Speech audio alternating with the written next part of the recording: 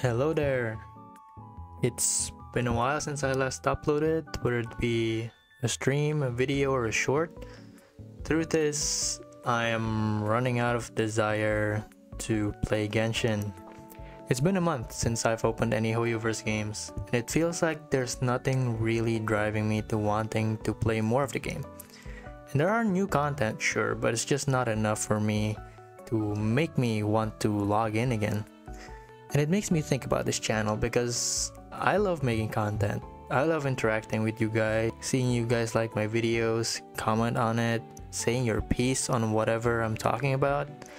But since my channel has been a Genshin oriented channel, I haven't been able to do that. So I really hope this video reaches my core audience and I would like to ask a question. Would you guys like to see content outside of Genshin being uploaded on this channel? I play more games other than Genshin or Hoyoverse games. I play um, Teamfight Tactics, I play um, League of Legends, or even Valorant and Sky. I also have games I haven't finished, such as Wukong and Undertale. What do you guys think? Should I stick with Genshin?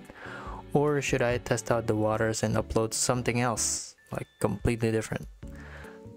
I really hope this video reaches you guys and let me know your thoughts in the comments down below. It would really help out a lot. Um, thank you for watching. I'll see you around.